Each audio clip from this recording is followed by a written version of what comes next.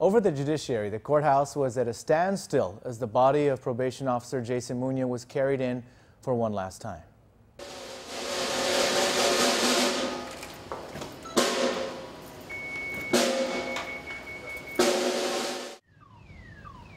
Muña was an employee of the judiciary of Guam for 20 years. 14 of those years he spent serving as a probation officer.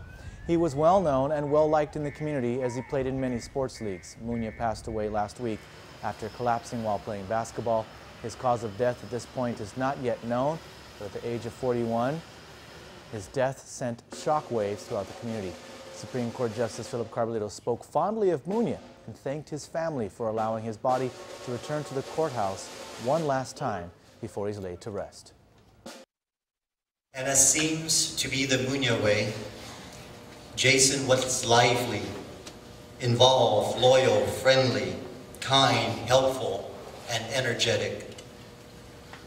The light that emanated from him will be missed, but will not be forgotten. Last respects for Muña will be on Friday, March the 6th from 8 a.m. to 1.30 p.m. at the Santa Teresita Catholic Church. He will be laid to rest at the Pigo Cemetery in Anigua. Our heartfelt condolences from everyone here at PNC to the Muña family and all of Jason Muña's friends.